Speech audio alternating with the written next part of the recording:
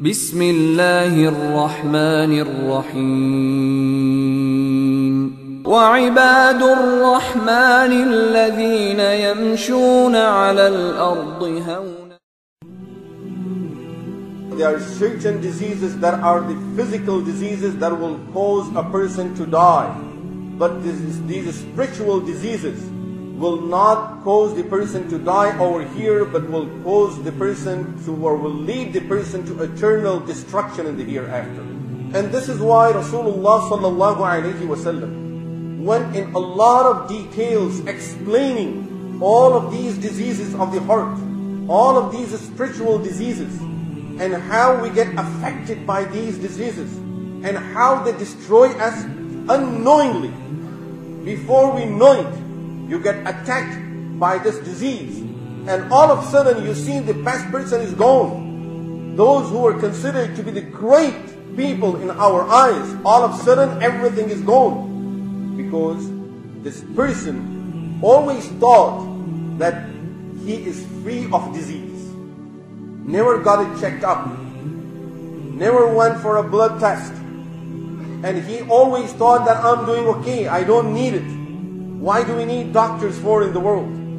And same thing with the spiritual diseases. A person thought I'm doing fine. I'm behaving good.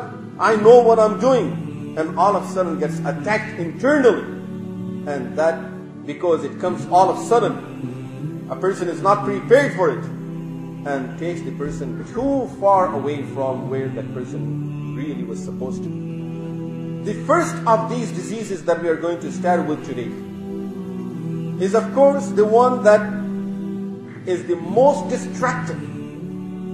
And it's amazingly, it's a disease that has to be treated daily. It has to be treated every day. If you miss one day, it's going to come back again. You need to take some tablets. There are certain type of illnesses where you have to take medication daily and sometimes you have to take medication two, three times a day. This is a disease where you would have to take medication at least five times a day to treat this disease and make sure that it's getting treated and it's under control. Otherwise, it will get out of your control and will not take too long for it to destroy you. And that is called arrogance. Kibr. Imam Ibn Kathir rahimahullah. Narrates in Al-Bidayah wa Nihaya. And many other muhaddiseen and mufassirin narrated this that Iblis before he was cursed by Allah subhanahu wa ta'ala and before he refused to do sajda to Adam alayhi salatu was salam he was considered to be the leader of malaika. And Imam Ibn Kathir rahimahullah narrates that there isn't any part of the world where Iblis have not performed sujood for Allah subhanahu wa ta'ala. A great abid, a person who have performed so much sujood that you can't find a place on the earth where he did not perform sujood for Allah. A great alim, knowledgeable person. Imagine the experience he has. He has seen all the anbiya, the time of all the anbiya, from Adam alayhi salatu wasalam until Rasulullah sallallahu alayhi wasallam. He have seen these Anbiya alayhi salatu wasalam. He knows the teachings of all of those Anbiya alayhi salatu wasalam. He was there for every situation that was taking place at the time of Anbiya alayhi salatu wasalam. So much knowledge.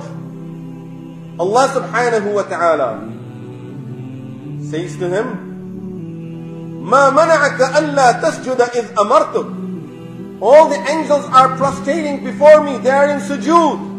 I told you to do sajda, O Iblis. Why are you standing up? ما منعك ألا تسجد إذ أمرتك I'm not narrating an ayah where Allah says, قُلْنَا لِلْمَلَائِكَةِ اسْجُدُوا We said to angels because right away you will question that was he ordered or not? Was he a malaika or was he jinn? Allah says in this ayah that I'm quoting right now, ما منعك ألا تسجد إذ أمرتك What prevents you from doing sujood whereas I have ordered you? He didn't say, I didn't know I was ordered to.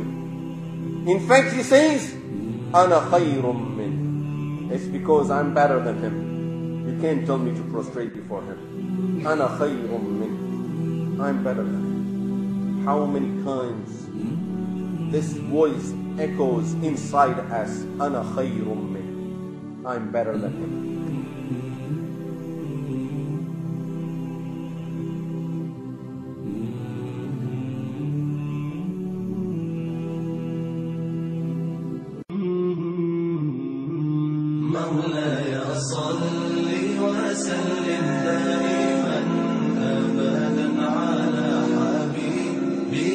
خير